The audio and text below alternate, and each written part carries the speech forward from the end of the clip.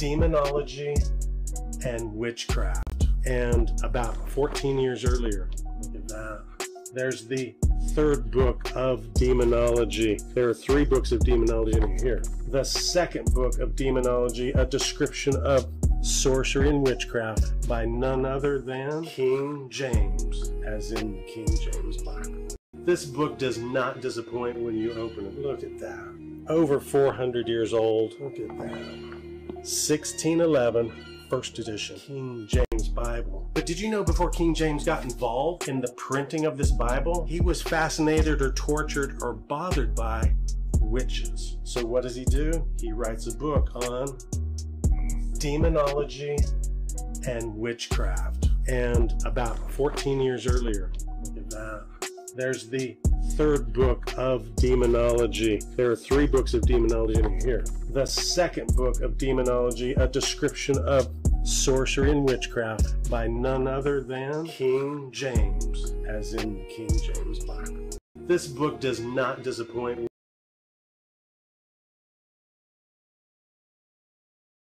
Wrote a book basically telling you of the dangers of witchcraft. He didn't write a book uh, uplifting witchcraft. He actually was coming against demonology and witchcraft. That was what the book was about. All right. The uh, demonology, new forms of Scotland. All right. So he wrote a book basically telling you of the dangers of witchcraft. He didn't write a book uh, uplifting witchcraft. He actually was coming against demonology and witchcraft. That was what the book was about. All right. Someone tried to, did you know King James? man, and people. And then something that I bring out all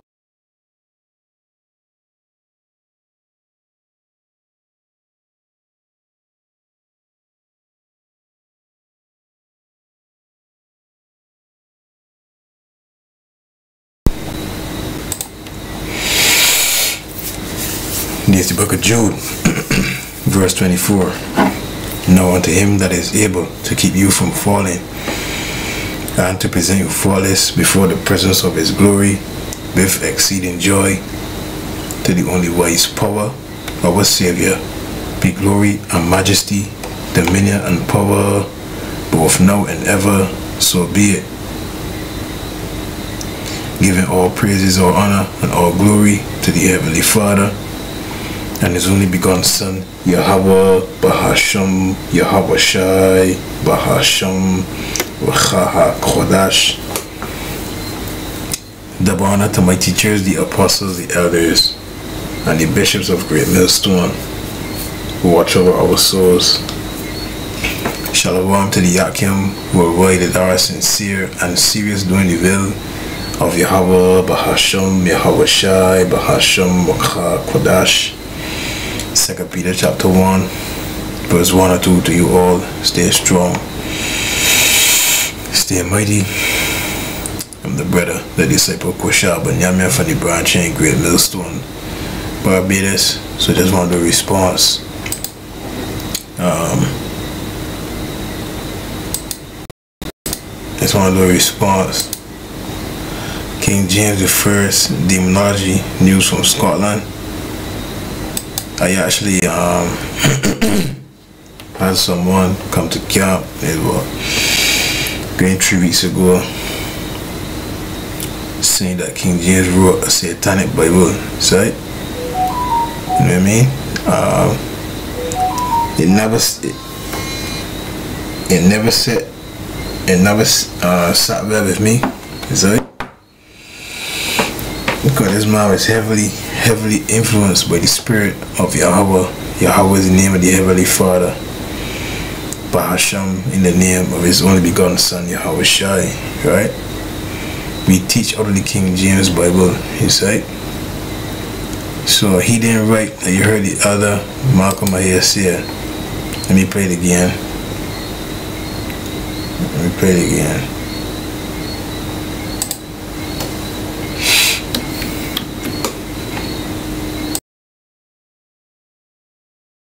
Basically telling you of the dangers of witchcraft. He didn't write a book uh, uplifting witchcraft. He actually was coming against demonology and witchcraft. That was what the book was about. All right. Right. So, curiosity got the best of me, I um, went on Google. I see here, King James First, Demonology in Form of a Dialogue, 1597. News from Scotland, 1591. so, um, declaring the life and death of whoever that body is, blah blah blah. So we get to the point. Um, demonology in form a dialogue, right? Let's see, let's see. I can do this. I mean, do it in two such two parts. Because there's a lot of info, right? A lot, a lot of info. Um, for the sake of time, I'm gonna make it too long, right? I you see here, 136 pages, right? So he fearful of bondage at this time in this country of these detestable slaves of the devil, the witches or enchanters have moved me, beloved reader, to dispatch and post this following treatise of mine, not in any ways as I protest, to serve for a show of my learning and engine, but ingenuity, that where ingenuity come from, right? But only move of conscience, so it was bothering King James. His conscience was bothering him of these people, slaves of the devil, you see? to move it, move a conscience to to press or to preach, thereby as far as I can, to resolve the doubting hearts of many, both that such assault, assaultees of Satan are more certainly practiced. So the key word here is assaultees, right? Let's go back to the word um, let's still go here. Um let me see. I had it here right? Let me go back here. I seal uh, I had it here so like a minute um, yeah assault assault you go to the word assault right hit, straight, slot, etc. But you keep on going. Um, bombard with something undesirable or unpleasant. Um, from English, Middle English, from Old French, assault.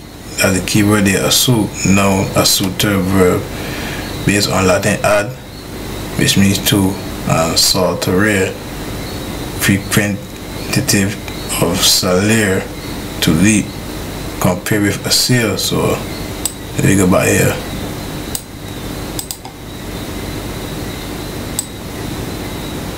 so this is this is this is um devices that people were using to practice witchcraft right so assault a concerted attempt to do something demanding all right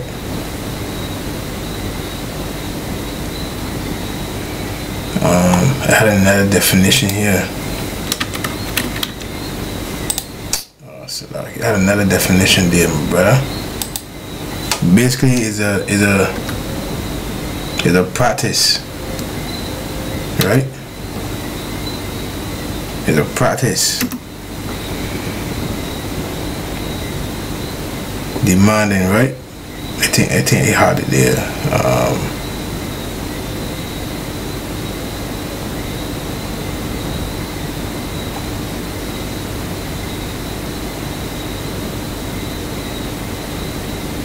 to leap upon. Right? I had another definition somewhere. Assault, an unlawful physical attack or threat of attack of an individual without actual injury. So it's something you put into practice. Right? So we go by here. Doubting the hearts of many, both that the practices, right, of Satan are more certainly practiced, right? Or the works, right? The works. And that the instruments thereof merits more severely to be punished. You see? So King James wasn't fascinated that you heard the Edomites here of witches and, and uh, sorcerers. He was warning he was warning the beloved readers. You see? He was warning us, right? That such devices of Satan are more certainly practiced and that the instruments thereof merits more severely to be punished. When you go to the when you go to the law, right? Um,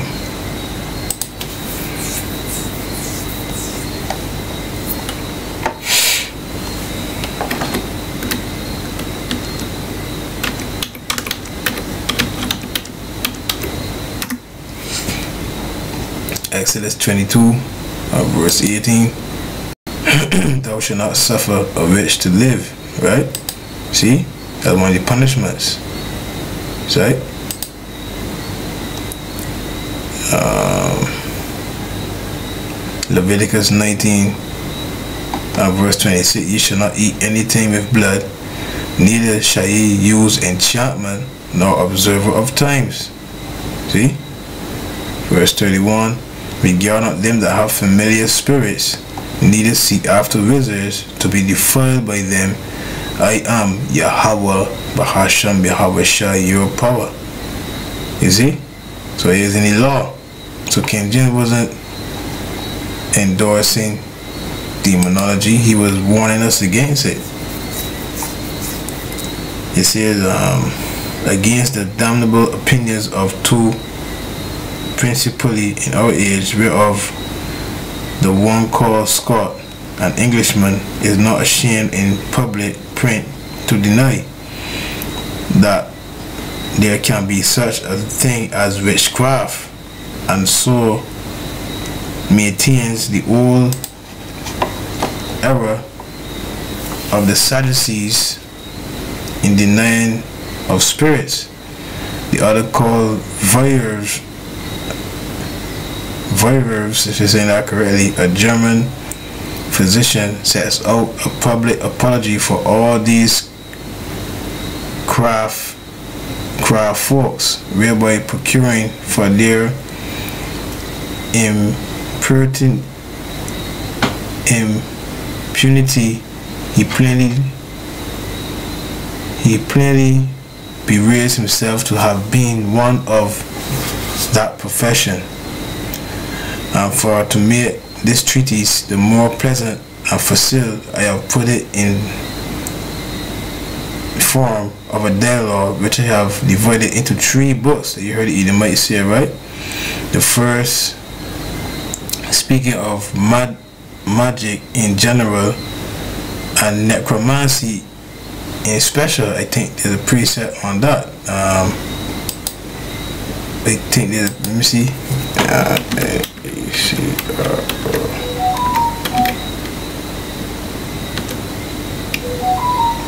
necromancy. I think the precept on that. Deuteronomy 18 and um we start at verse 10 we go to verse 9 when thou art come into the land which the Lord thy power giveth thee thou shalt not learn to do after the abominations, keyword there, of the nations. There shall not be found among you anyone that maketh his son or his daughter to pass through the fire, or that use divination, or an observer of times, or an enchanter, or a witch, or a charmer, or a consulter with familiar spirits, or a wizard, or a necromancer for all that do these things are an abomination unto Yahweh Bahasham Yahweh Shai. And because of these abominations, the Lord Yahweh Bahasham Yahweh Shai, thy power that drive them out from before thee. Thou shalt be perfect with Yahweh Bahashem Shai thy power. Verse 14 For these nations which these people which thou shalt possess hearkened unto observer of times and unto diviners. But as for thee, the Lord thy power have not suffered thee to do so. See? So this is Deuteronomy, second book of the law, telling us to don't deal with nothing so. See? Um, the second of sorcery and witchcraft. And the third contains a discourse of all these kinds of spirits and scepters that appears and troubles and troubles persons together with a conclusion of the whole work. My intention in this labor is only to prove two things, as I have already said. The one that such devilish arts have been and are, the other what exact trial and severe punishment they merit, and therefore reason I what kind of things are possible to be performed in these arts, and by what natural causes they may be.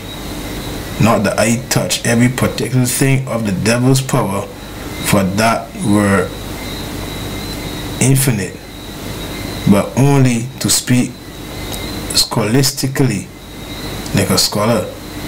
Since this cannot be spoken in our language, I reason upon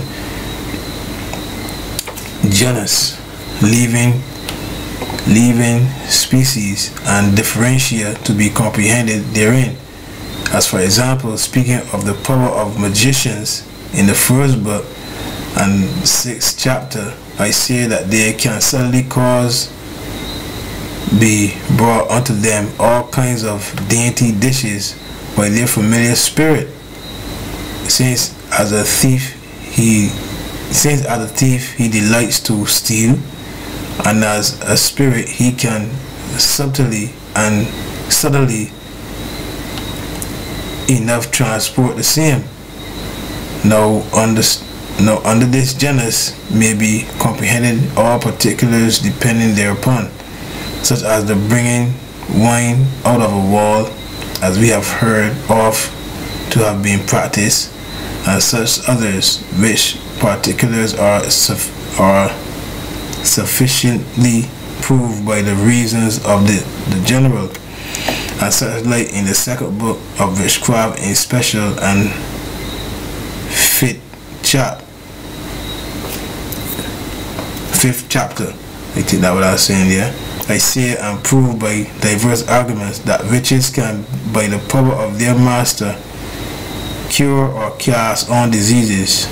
Now by these same reasons that proves their power by the, by the devil of diseases in general, is as well prove their power in special, as of weakening the nature of some men to make them vulnerable, to make them unable for women and making it to abound in others more than the ordinary course of nature would permit, and such like in all other particular sicknesses. But the one thing I will pray thee to observe in all these places where I reason upon the devil's power, which is the different ends and scrolls that God as the first cause and the devil as his instrument and second cause shoots in at shoots at in all these actions of the devil as God's hangman. So one of witches and warlocks going to Shaitan. But really Shaitan works for the Mosai. For where the devil's intentions in them is ever to perish either the soul or the body or both of them he is so permitted to deal with, God by the contrary draws ever up of that evil glory to himself, either by the wreck of the wicked in his justice or by the trial of the patient and amendment of the faithful, being wakened up with that rod of correction. I can stop there. Let me get two presets, then they get shut shut there, right? so the Heavenly Father is in control of everything, brother. This right? I get into the book of uh, Job, Job chapter 1. Job chapter 1, um, 6. Now there was a day when the sons of God came to present themselves before the Lord, and Satan came also among them. What he doing there? He on the earth, in hell, yeah? burning up souls. Or that episode of South Park, he bullying Saddam Hussein. Anyhow, and the Lord said unto Satan, Whence comest thou? Then Satan answered the Lord and said, From going to and fro in the earth and from walking up and down in it. And the Lord said unto Satan, Hast thou considered my servant Job, that there is none like him in the earth, a perfect and upright man, one that feareth the Most High and escheweth evil? Then Satan answered the Lord and said, Doth Job fear God for naught? Has thou not made an hedge about him? Has not thou, Salakia, made a hedge about him, and about his house, and about all that he have on every side? Thou hast blessed the work of his hands, and his substance is increasing the land. But put forth thy hand now, and touch all that he have, and he will curse thee to thy face. And the Lord Yahweh said unto Satan, Behold, all that he have is in thy power. Only upon himself put not forth thy hand. You hear that? So Satan went forth from the presence of the Lord. You hear that? So the Lord tells him, listen, go along, but don't kill him. Don't kill him. He destroyed his crops, he destroyed his livestock, his his his, his family, his his, his, his uh, mansions was burned down. Satan allowed, see? He was allowed to test Job. Why? Because he had the answer to the Heavenly Father you understand? It's like here. You see? and you see the the the, the uh, test here that happened to him, right? His health went so Satan went and he he he he um Satan went and test Job to see if Job would turn his back on his power. Like we go back here. God, by the contrary, draws everyone, draws out of that evil glory to himself, right? Amos 3 and 7. Let me get that there quick. Right? Amos chapter 3. Amos chapter 3. Sorry, verse 6. Shall the trumpet be blown in the city, and the people not be afraid? Shall there be evil? Evil means bad times in the city, and the Lord have not done it. You see?